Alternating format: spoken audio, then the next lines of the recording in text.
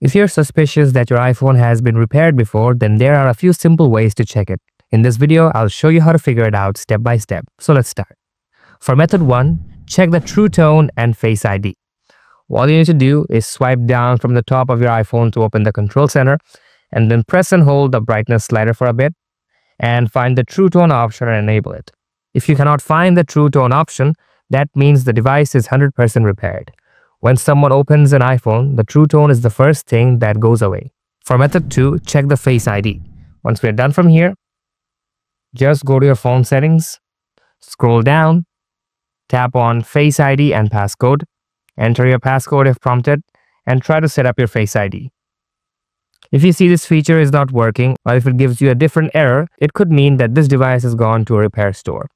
Now for the third method, you can check whether it's a refurbished device or not directly from your settings. If you want to do that, let's close the settings and open the settings app again. Scroll down a bit and then tap on general. Tap on about. Now look closely at the model number over here, the very specific model number like this. So check the model number and see if it starts with M or F. If you want to try understanding the model prefix, if this starts with M like my device, it means that this is a factory sealed device and it's brand new.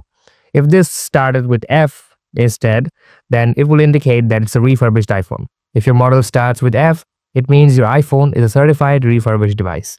That means this device has gone to the Apple repair store. So I hope you got your answer and hope this guide helped you out as well. If you want more tutorials like this, be sure to subscribe to this channel and thanks a lot for watching till the end.